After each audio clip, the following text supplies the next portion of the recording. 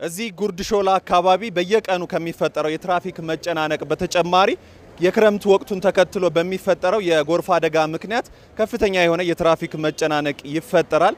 ከዛ ባለፈም ደግሞ እዚህ መንገድ ዳር ላይ የሚሰሩ የቆሻሻ ማጽዳት ስራ የሚሰሩ ሰዎች አሉ። ለነሱም በጣም ችግር ሆኖባቸዋል። ክረምቱ ከገባ ጀምሮ በቃ በየቀኑ ዝናቡ ሲወርድ ጎርፉ ይወርዳል። አስፋልት ላይ ነው የሚተኛው። እሱ ነው የምንዝቀው። በቃ ክረምት ሲመጣ በጣም በአደገኛ ሁኔታ ያው ከፍተኛ ችግር ነው ያለው።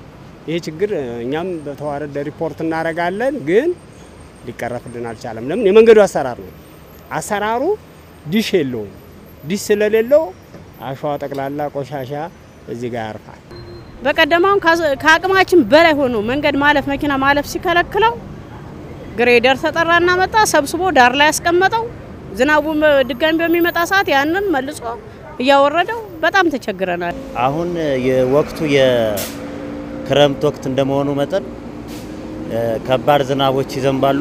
እነዚህ ዝናብ በሚዘንብ ሰዓት እነዚህ የውሃ መተላለፊያ ቱቦዎች በቆሻሻ በመዘጋታቸው ምክንያት ውሃው በቱቦ ውስጥ መሄድ አልቻለም። ያ በመሆኑ ምክንያት አስፓልቱ ሙሉ በሙሉ በውሃ የሚሸፈንበት ጊዜ አለ። ይሄ ደግሞ ለትራፊክ መጨናነቁ ከፍተኛ አስተዋጽኦ በማድረጉ ሰዎች እዚህ መጥተው ተሽከርካሪዎች ከአንድ ሰዓትና ከሁለት ሰዓት በላይ እዚህ መሀል የሚቆሙበትና ይሄኛው ከዚህኛው ላይን አልፎ በወዳኛው ላይን ከሳሌተ ምሕረት እስከ መገናኛ ድረስ የሚዘጋጋበት ጊዜ እንዳለና አልፎም ተርፎ እዚህ አካባቢ ላሉ የንግድ ቤቶች ይሄ ጎርፍ ትልቅ ስጋት እየሆነ መምጣቱ አሳሳቢ ያደርጓል። አሁን በቀደም አንዱ ከባቡሩ እንትን ጋር ሄዶ ተጋጨ።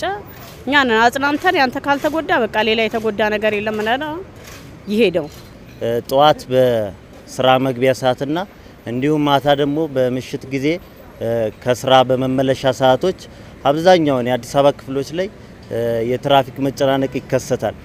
ከዚህም በተጨማሪ እንደዚህ አይነት ጎርፎች በሚከሰቱ ሰዓት ይሄንን የቀድሞውን የትራፊክ መጨናነቅ የባሰ ከፍተኛ የመጨናነቅ ወይ ደግሞ ከፍተኛ የትራፊክ ፍሰት እንዲፈጠር የሚያደርጉ ነገሮች ናቸው። ይሄ መንገድ በዲሽ መሰራት አለበት፣ ክፍት ሆኖ ማለት ነው። ክፍት ሆኖ ዝግ ስለሆነ ጥርግርግ አድርጎ አስፋልት ላይ የሚያደርገው ያ እንዲቀነስልን ነው፣ እንዲስተካከል ነው። በቃ በአጠቃላይ እሱ ከተስተካከለ ቢያንስ አሸዋውን ይቀንስልናል። ደረቅ ቆሻሻ የሚለውን እኛ ስራችን ነው፣ በሚገባ እንሰራለን ማለት ነው።